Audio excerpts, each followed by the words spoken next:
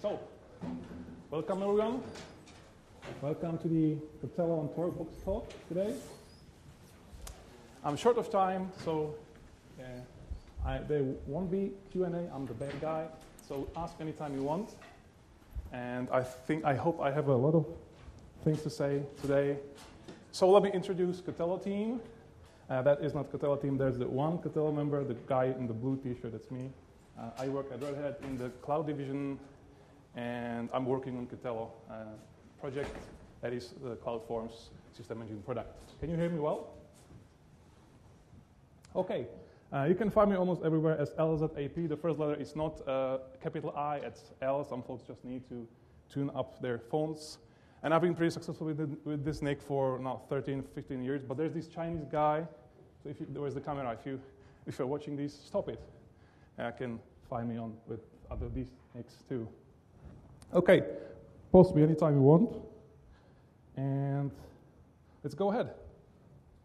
So you will find me today talking about Katello. The, the good news, I will be technical, so uh, just a sh- very short introduction. The bad news is I don't have this T-shirt for you today. This is actually fake, some kind of e-shop, weird e-shop that puts everything it finds on the internet on a T-shirt, and you know you can buy it. Perhaps I don't know. I didn't try it. Uh, although the TorqueBox is in the title of this talk, I want to attract to JBoss guys. I will be talking about JRuby and not much about Torquebox because you know Torquebox is pretty easy to configure, and once you have uh, your application running on top of you know JRuby, you can you can run it on Torquebox as well. So, and yeah, uh, I'll explain my motivation. Uh, to give you the context, uh, I've been working on a small proof of concept to port Katello to JRuby. So I will, I will uh, talk a little bit of, about the motivation we had and then about issues I had. And of course, a little bit of JRuby and Java. This one is better. And I'm happy to announce this talk will be cat-free. No cat pictures at all today.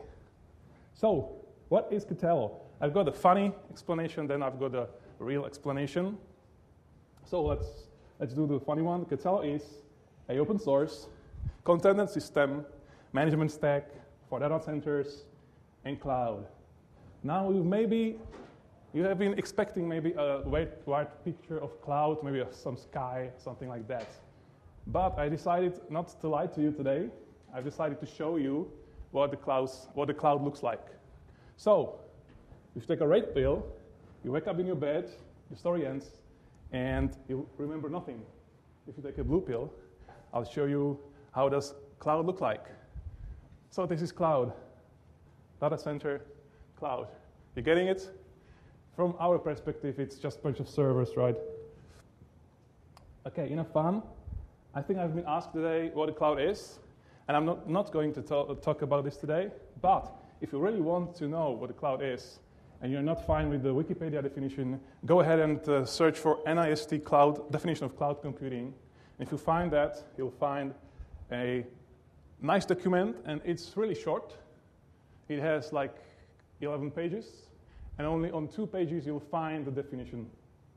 And I won't go into details, but it's on-demand service, broad network access, resource pooling, rapid elasticity, of course, and you want to measure the thing and there are some models and that kind of stuff. That's a cloud. Okay, enough fun. Let us be serious now. What can you do with Katello? What is Katello? First of all, I need to ask how many of you are familiar with Red Hat subscriptions? Have, okay, half, maybe half. So, this is pretty easy. I like this feature. So, if you buy a product from Red Hat, you're given a subscription, like for a magazine, right? and the artifact you get is something on the portal. If you go to the Red Hat customer portal, you can find it uh, entitlement there. Uh, so you can find a subscription there. For example, you buy five pieces of RHEL for one year. So what we call you are buying five entitlements. Entitlements is right to use the stuff.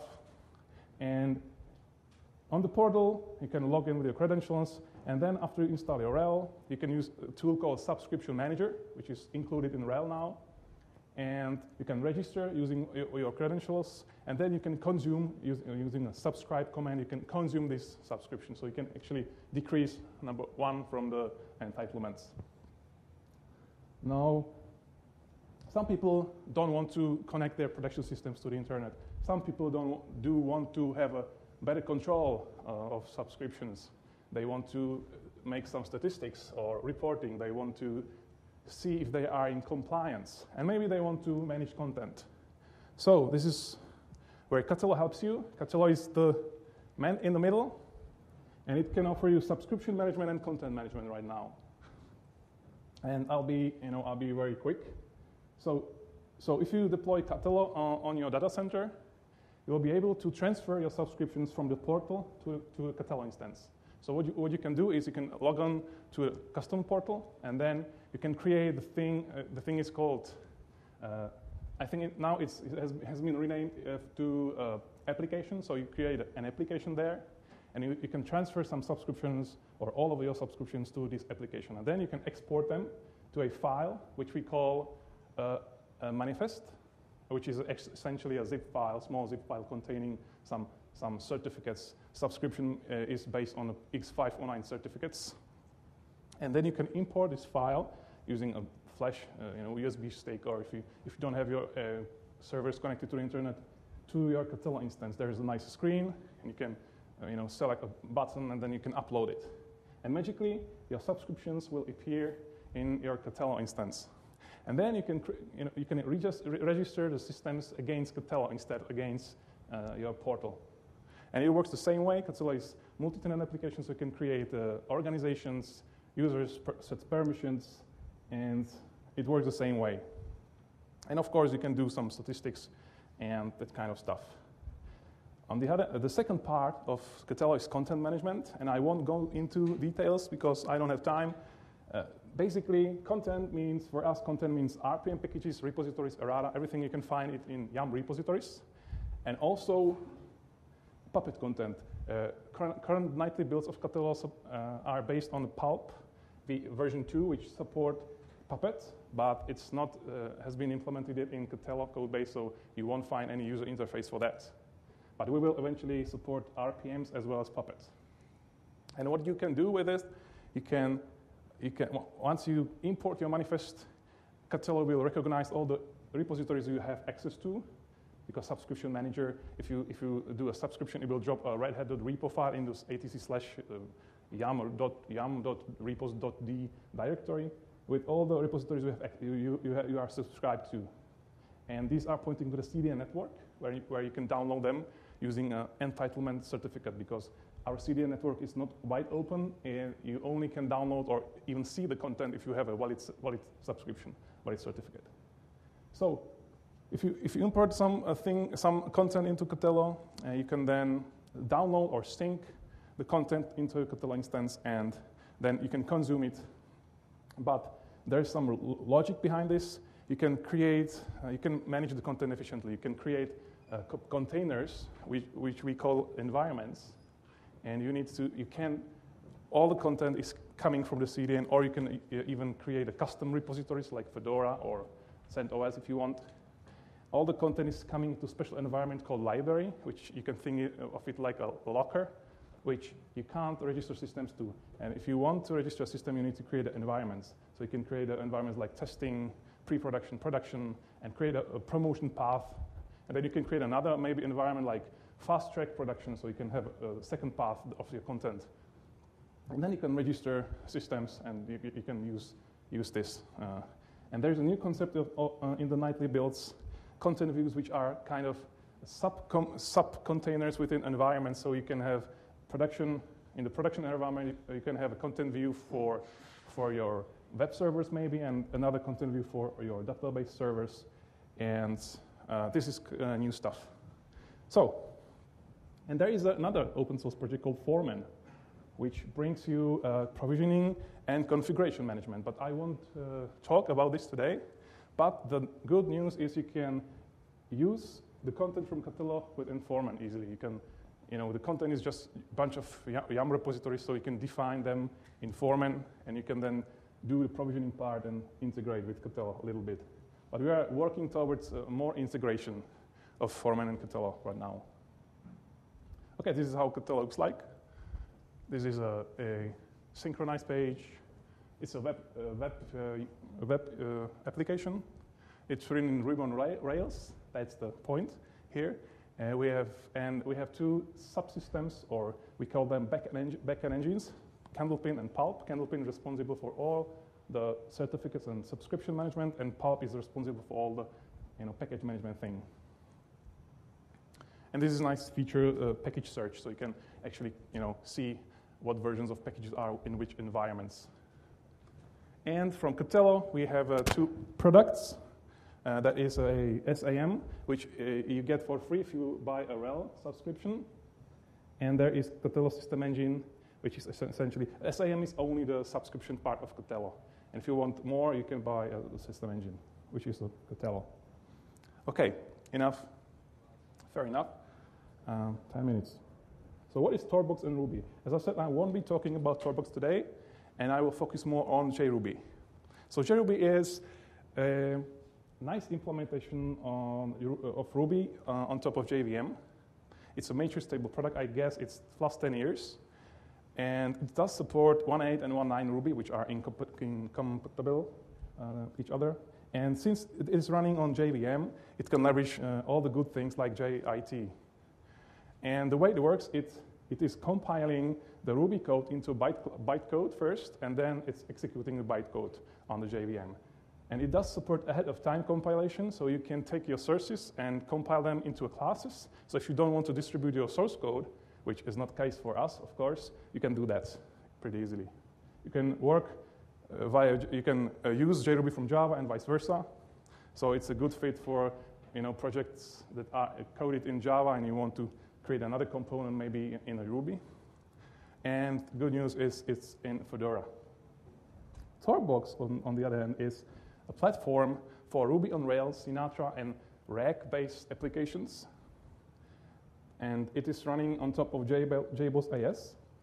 So uh, uh, it can offer things like messaging, scheduling, and caching, and all the good stuff from JBoss, JBoss AS to Ruby applications. Now, there is, there is a missing piece, and that th this missing piece are APIs, because for in Ruby, we don't have, like, for example, JMS uh, API for messaging, but TorqueBox guys are doing the best with communities to set up some decent um, you know, st standards for that. And actually for Katello, we'll be able to leverage all of these. We have scheduling, and we want caching, and we, we want messaging. So it's a good fit. TorqueBox is a very good fit for Katello.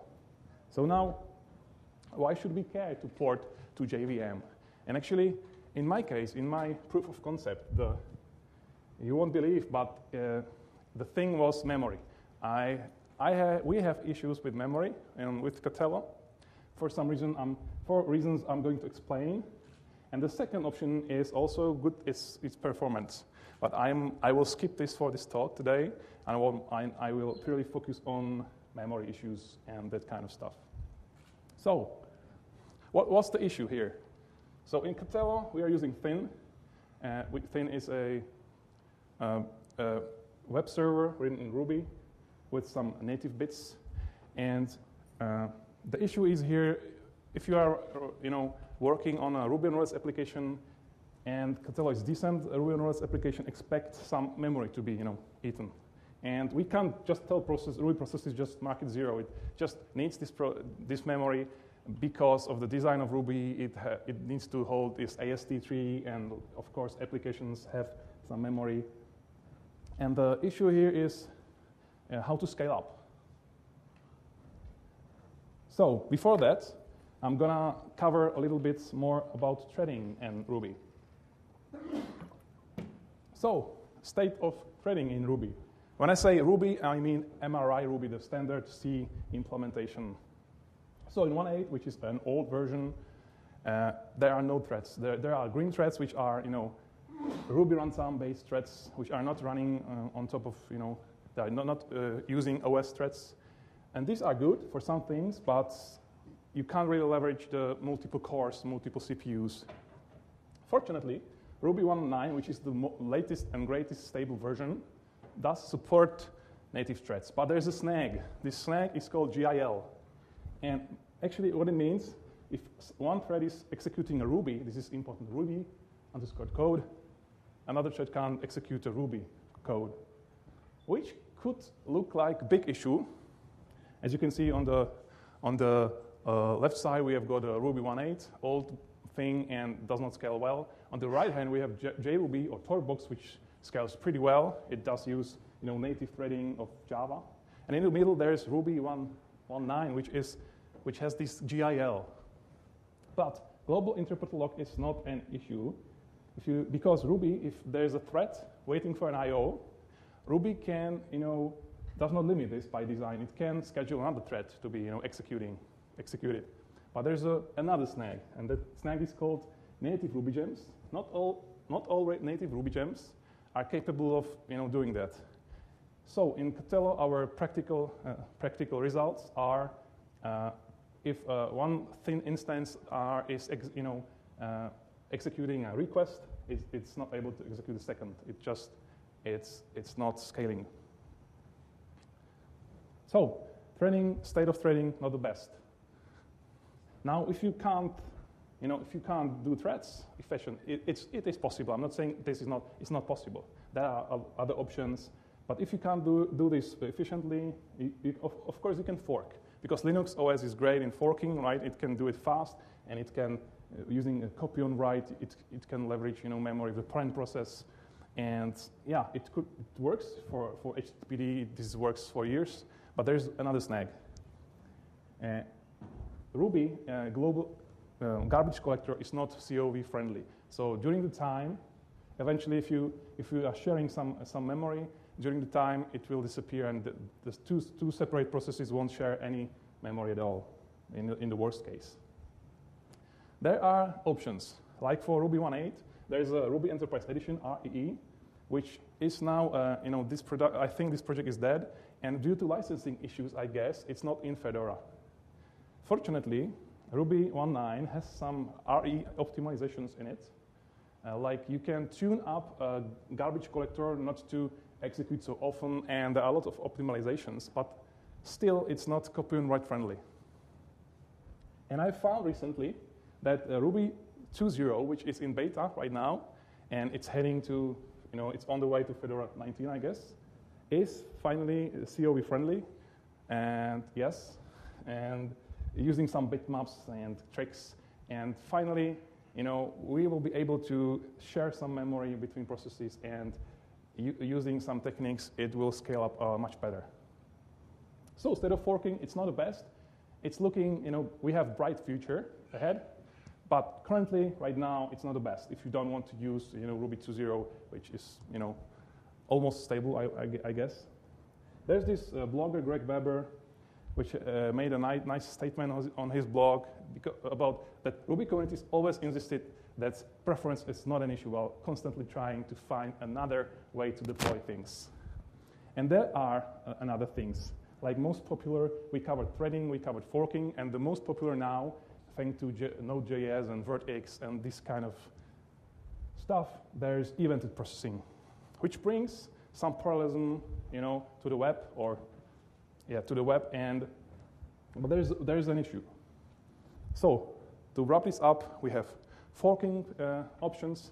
The Phusion Passenger for some licensing issues, it has not been accepted to Fedora until now, and I think it's Fedora 18, the first version which supports Passenger. Passenger is something like ModPerl. Uh, it's a, a, very decent uh, um, web stack for Ruby applications, and it does uh, reuse as much memory as possible using three levels of forkers. And it's pretty awesome. And with Ruby 2.0, I think this will be the way, the, the, you know, the standard way to deploy Ruby applications.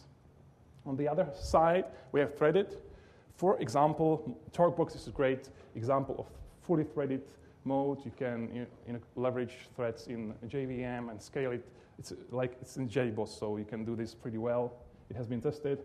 And also, TorqueBox uh, offers you to fork uh, several JRuby instances within its container. So if you have some library that is not thread safe, you can do that. So it's a TorqueBox is actually forking and threaded. And there's a thin, which is evented server. I will cover that uh, right now. And, but it has some issues. And thin is actually you know, forking and evented, and it, it has some experimental support for threads. But these are the basic, you know, basic deployment options in Ruby. And usually, you are you're not going, you know, the one way. You're usually uh, using several options uh, as one. So, as I said, we are using Thin for deployment of Katello. Uh, uh, so, so the, the, to, to, give you the context, uh, we have a mod proxy, Apache HTTP mod proxy, which distributes the two things. So you, you need to set up uh, this like multiple uh, load balancing for multiple uh, processes. And there's one snag. So if you have three requests here, uh, and Ruby on Rails is a model view controller you know, framework. So it does some routing, then you do some SQL stuff, then you do rendering of and uh, render response. Yeah. Uh, yeah, then, then you do some rendering and then you are handing this over back to the, to the uh, web stack and it's handing a response back. Now the, the boxes or the, the words with the star are I.O. intensive, while control and render are CPU intensive. And what this thing can, can do, because thing is evented you know, server, it can it can wrap these three requests into three big you know, circles and, and process them. And this does not scale well. Actually, if due to issues I described, there are you know, I.O. blocking, there's GIL, and it does not scale well. So to unleash full power of evented processing, you need to rewrite your application. You need to change you know, your application a lot. And due to you know, Ruby on Rails design, uh, this is not possible. Uh, I think there's some ex very experimental plugin or something that brings you some evented processing, but because the key concept of evented processing is that you need to separate your code into a smaller pieces called events, and then you want you know, uh, to let the framework to you know, efficiently uh, execute them. So, but the, it's not that bad. If you are using Ruby on Rails, it's kind of limiting, but you can use uh, Ruby fibers, which are a green thread for Ruby 1.9, or and code code the you know the I/O for your own, or you can uh, uh, use another uh, options like Goliath, which is a framework and server. And if you are using Sinatra, um, there's a I think in the stable version there's some support for ASIC asynchronous processing there. So it's state of you know event processing is not the best. I mean, uh, not for Ruby on Rails applications at least. So when should you consider you know, trying out JRuby, making a proof of concept like me? If your application is not built around evented you know, uh, pattern, or if your application takes a decent amount of memory, or if, you, if your application contains a lot of I.O. And in our case, we do have a SQL database, and we do have a lot of REST, REST, REST calls to the backend engines uh, over the HTTP, HTTPS. And if you have a Ruby on Rails application, basically you can check all of, the, all of these.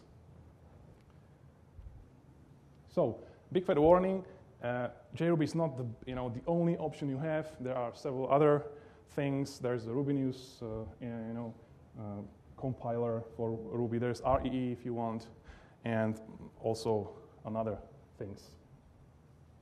Yeah, and by the way, some, some languages, I'm a big fan of Google Go, some languages has built-in concurrency in the runtime, which is great because you don't need to care about this. Runtime can do, can decide what to do and can decide if, you, if it will reuse uh, OS threads or not. Um, it's pretty interesting domain. Okay, with Java? No way. Uh, Okay, now the part when I want to describe several issues I had when I started porting Katello and JRuby. I was surprised and I had only like five issues. One issue I will describe right now was the biggest one and then several other, maybe four small issues and it was pretty straightforward. And right now I'm happy to announce that uh, Katello runs on top of JRuby just fine. And there are a couple of issues, but it works basically. So First point I want to give you, and I've been given this from the TorqueBox community, is don't use TorqueBox if you are porting to JRuby. Just use plain JRuby, start the application within a, a Ruby uh, web server like WEBrick, which is you know, in, included in Rails, and do the stuff. It works because if you're not familiar with JBoss AS, you can expect some issues with configurations, but you need to get uh, things rolling. Now, JRuby is a little bit slow when, when we are talking about starting. It's very fast when you know, it executes, but when you talk about starting, it's a little bit slow. And I had some issues with this. So I was trying to find some options how, how to solve this, and nothing worked for me. But to give you some overview. How slow it was? Yeah, I, I will, I'll tell you later. Okay? So, so first of all, this is taken from a wiki, a wiki page of JRuby. And you can uh, run your Java in the client mode, and you can, for example, you know, turn off compile mode of JRuby, so in, it will interpret the stuff. It starts a little bit better. Then you can provide a lot of things. If you, you usually need to tune up uh, your memory, uh, like give it the two gigs for running out tests, for example. And there are several other options. Uh, in JRuby 1.7, there's a new feature called ng server. I think it's Nailgun server. And if you, if you run it in a, in a, on the terminal on the background and, and you execute something uh, within JRuby, it will find out there's a, a Nailgun server running and it will compile the stuff on the server and uh, if the, you know, your program will exit and then you start over, it will some, some, somehow reuse these compiled classes. I didn't try that, but it's there. Now the numbers. Yes, we want to see some numbers. So Katello on my laptop on this ThinkPad starts using bundler and using RVM. I'll explain that later. Is starting bundle rake, un, rake environment means it will boot up uh, Rails environment, then it, it will it just exits. So it takes uh, uh 20 seconds. On the other hand, on, on the production, on Rails 6, Ruby 1.8, that, that was uh, Ruby 1.9, 1.8, which is uh, slower a bit, it takes only 13 seconds. So where's the snag? And, and then when I wanted to start with JRuby, it took two minutes. So that, that's, the, that's the answer for your question. Two minutes start of Katello and JRuby. That's pretty much, you know, you can't really do any you know, development with this. So I've been trying to find what, what is happening. And I found a you know, big announcement here. I found that Ruby gems are slow because the way it works is if you install a Ruby gem, it creates a user share something, gem something, Ruby gem name dash version. And there's a lib subdirectory, and every time you, you, you require a banana in Ruby, it will, it will walk down the tree and trying to find banana.rb in all the files, all the versions, all the Ruby gems you have. And now let's see some numbers. I made, uh, I, I, used GNU strace to see how many stat and open codes are uh, exiting with directory our file not found. And yeah, I've been using Bundler. Bundler is something uh, on top of Ruby gems which uh, allows you to uh, allows you to actually lock down the versions of Ruby gems. And on top of Bundler, I have RVM, which is very popular in, in Ruby world, which allows you to manage Ruby gems, uh, multiple versions of Ruby gems, and create the gem sets, which are actually directories where you install your Ruby gems. So you can switch over and over again from one project to another, right? So this is the, the command I used, strace something, uh, and it's pretty much you know interesting. Uh, this is how you know, Ruby uh, you know, handles requires. And there's actually a bug on the Ruby 2.0, actually several bugs. And they are working on this, and actually they fixed that for Ruby 2.0. Unfortunately, when, when I tried that on Ruby 2.0, I, found out, I have found out that the optimization is not so great. It's just, you know, the number was smaller, you know, uh, uh, for, for a not significant amount of, you know, uh, uh, calls. So in theory, let's show some numbers. We do have like uh, 125 depend- Ruby gem dependencies uh, in Katello. This is just a you know, command to count them. And on the production, if you do a rake environment, so you will try to boot up Katello, it will just uh, it will show you that the system is doing 4,000 you know, missed you know, file not found. On my laptop, using Bundler and RVM, it's 170,000 of file not found. Yes, 170,000. For some reason, this was the snag, I, and within JRuby environment, it was very slow. I don't know why, but I'm just telling you. So it's slow, it's not getting better. So if, you, if you're experiencing some issues with JRuby and starting, try to avoid bundler, try to avoid RVM. And you can use BundlerX, which is a nice extension, which actually uh, made by Aeolus guys, which actually turn off, turns off bundler. It's very go- good, and we are using this for production. Okay, 10 minutes. Porting issues. So, so this was the biggest problem I had during my, you know, JRuby journey uh, with in Katello. Now, several tips I, I can give you. If you are, uh, you know, working with binary files, we are, you know, uh, reading and writing uh, these manifests, which are zip files. Add a B flag because for some reason JRuby is, you know, Java environment and maybe it's mangling text, you know, I don't know, encoding or something like that. Just add B and it will work. Active record. I was really scared about active record because we have a big bunch of code uh, coded. We call this orchestration engine, and it's a, a lot of we have a lot of hooks in active record and I was really scared if this works. And you know, it was uh, uh, the, the, transition was pretty smooth. So what I did, did is I replaced the uh, uh RubyGem PG, which is Postgres support for uh, for Rails, with three other you know Ruby gems. Mm, uh, you can either do JDBC way. You can either configure your Ruby application, Ruby on Rails application with Active Record JDBC adapter, or you can go with uh, I think it's called uh, Rails Postgres. I, I, don't know why I decided to go the JDBC or in a way, and it just works without any configuration. And the reason for that is uh, uh, the Ruby community are discovering JRuby, and they are very excited about JRuby. So a lot of Ruby gems are fixing every day. They are fixing Ruby, uh, J, you know, errors and bugs for JRuby. So my advice is, if you want to go to, to, to port your application to JRuby. And you are able to upgrade all your dependencies to the latest and stable, latest and greatest versions, do that.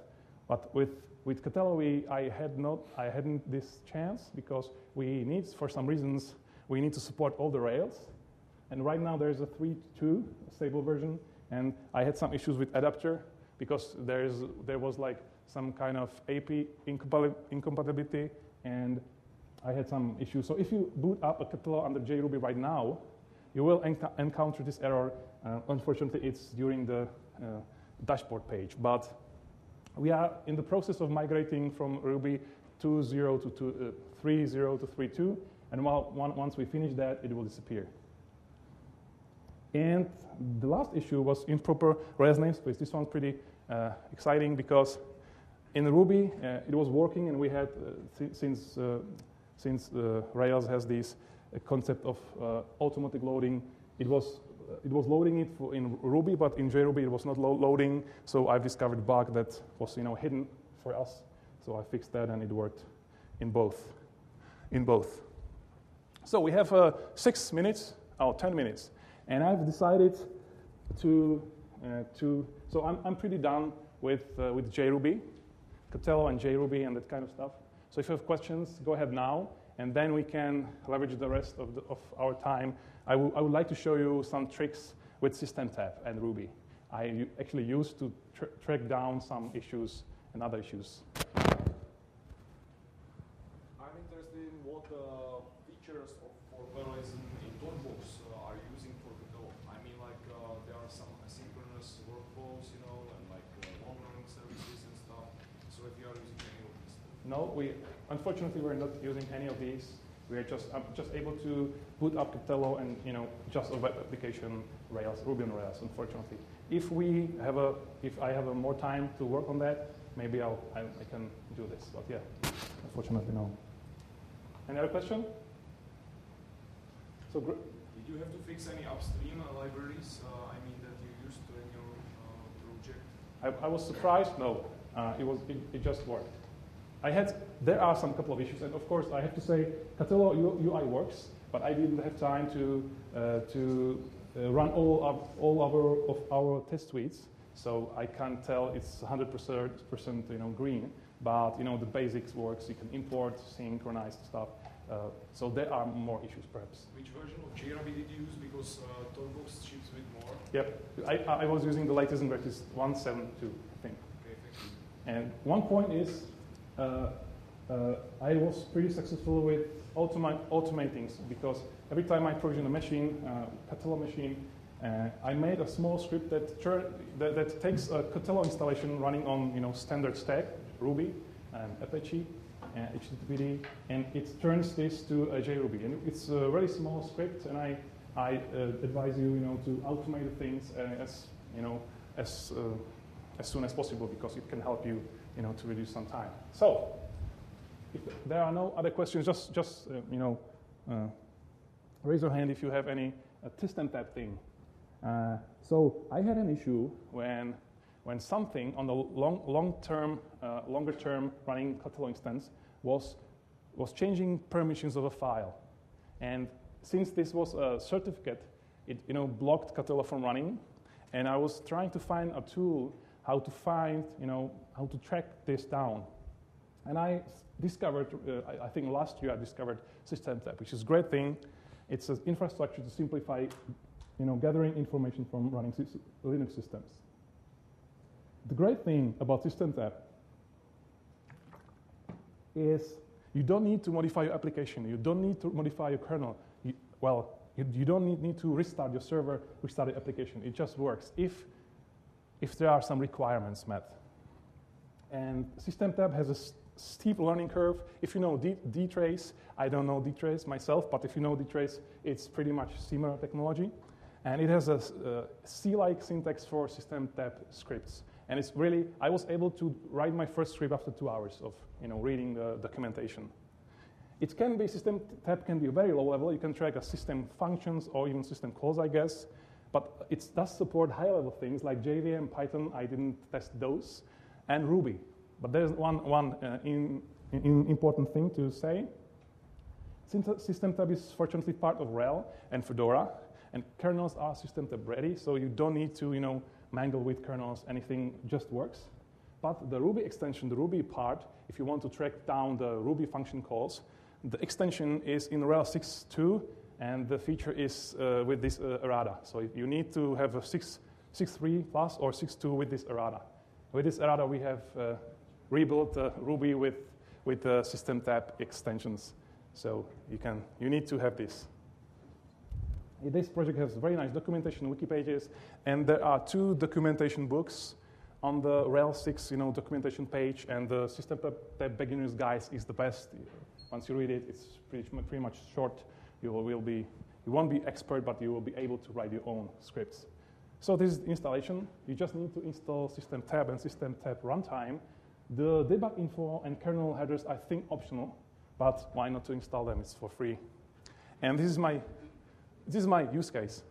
So there was a file somewhere, like a test, and I was you know, curious what is changing, what the hell is changing the permissions.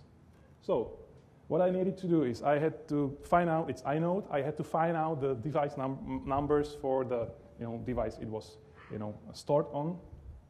And I made it, I copy pasted this script, this is not my work, uh, slightly modified it, and as you can see, it's pretty much you know, C-like syntax, uh, with SystemTap, you are creating functions called probe, probes, and you can hook into uh, specific actions.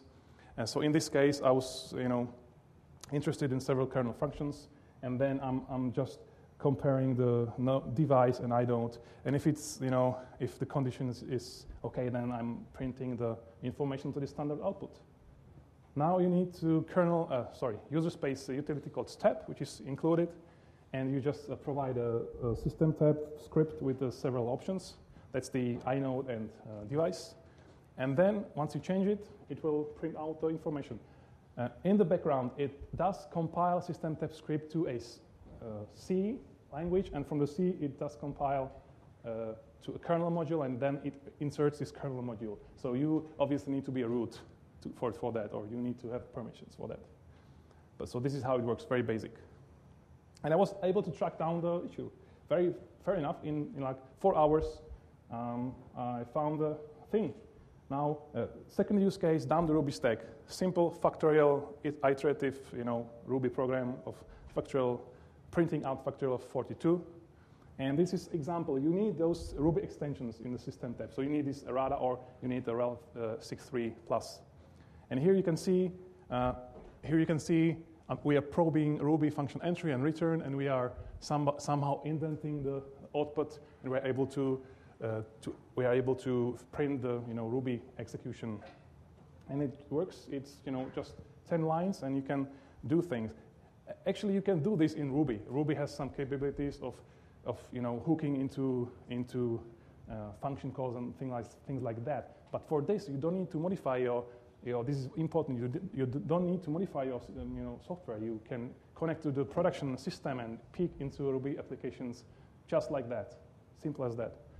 If you want something, uh, something more complicated, then uh, the SystemTap script, scripting language has powerful capabilities of aggregating things. It has, a, uh, it has a, uh, uh, arrays. These are you know, hash. These, these are um, hash-like structures where you can uh, send numbers and then make statistics. So in this case, we are trying to find which, are, which methods, which Ruby methods are being called the most. And you can see, uh, you can see the language. Here is the add count. So we, we are actually aggregating the, we can do also average or this kind of stuff. And we're, the, the for each syntax uh, shows you can do fn, fn underscore calls minus, which is, you know, sort uh, sort it and limit it by 30. So it's a very powerful language. And it just works. So in this case, we need to optimize big num and fixed num, right? And the last, uh, last example is uh, pretty much a uh, slightly modified version from the, from the wiki page of SystemTap, which is a Ruby top-like interface. What it does is count uh, the same way it counts the Ruby calls, method calls, and every four seconds it will clear, clear the screen, and in the top-like interface, it will show you, you know, the top function calls. And I've been pretty successful to track down some issues with, with our unit tests. And it just worked. Okay, three minutes, Bundler X. BunderX is awesome thing. A uh, lot of lot of Ruby developers uh, do use Bundler to because it allows you to lock down the versions of Ruby gems for development, and it the way it works is you can find Bundler X uh, on these uh, uh, locations. It's in the Aeolus incubator uh, repo. It's a pretty small library. And the, the, way Bundler works is you create a gem file. And because Bundler is integral part of Rails, you need to use Bundler when you are using Rails application. You can, although you can rip it off, uh, then you can leverage the good things. And I'm, I'm, not saying Bundler is bad. For development, it's great. You create a gem file, which, which is a definition of your gems and all the versions you need, you need, you need. And if you do a bundle install, it will create a file called gemfile lock, which will contain, which will, it will resolve all the dependencies, download them, install them, and it will lock down the versions. And if you, if you commit this into your Git, you can be sure that all the developers uses the same versions. So this can be useful, but on production, we have uh, Ruby gems installed from RPM, right? And if you know Fedora releases some, uh, some if, if, if, the engineers will bump a version, it sometimes can happen, then Katello will stop working. It will, Bundler will immediately exit with, you have a, uh, I don't know, L, OAuth version 111, and I only see 110, so I can't continue. And the there are several approaches for that. We have been deleting the gem file lock because Bundler will create it every time you start your applications automatically. So we have been deleting it every time in, the, in the, our starting script. And this was not the right solution. So with Bundler X, if you install Bundler X, it's a really small thing, and you insert this into your init code of your uh, Rails application. Basically, this is from config application.rb, and you replace your bundler.require and some groups you want to use with this, uh, with this uh, statement. And uh, so if it finds gemfile.in, it will turn off bundler completely and use bundler ext. And it will require those, those Ruby gems without you know, looking on the versions. It will just do require, require. You know, it works faster and it it's, you know, prevents from problems. So what we do in the spec file of Katello RPM, we just rename gemfile to gemfile in, in sorry, and problem solved. So this is very nice, and we have been trying to push this upstream or to ask Bundler author to, to give, give, give us a way to turn off Bundler somehow, but uh, we didn't succeed, obviously. Okay, I did it. Um, Uh, so now questions. I think I have one minute out of time. All right. If you have questions, you can find me here. You can ping me on RSC LZAP. Thanks.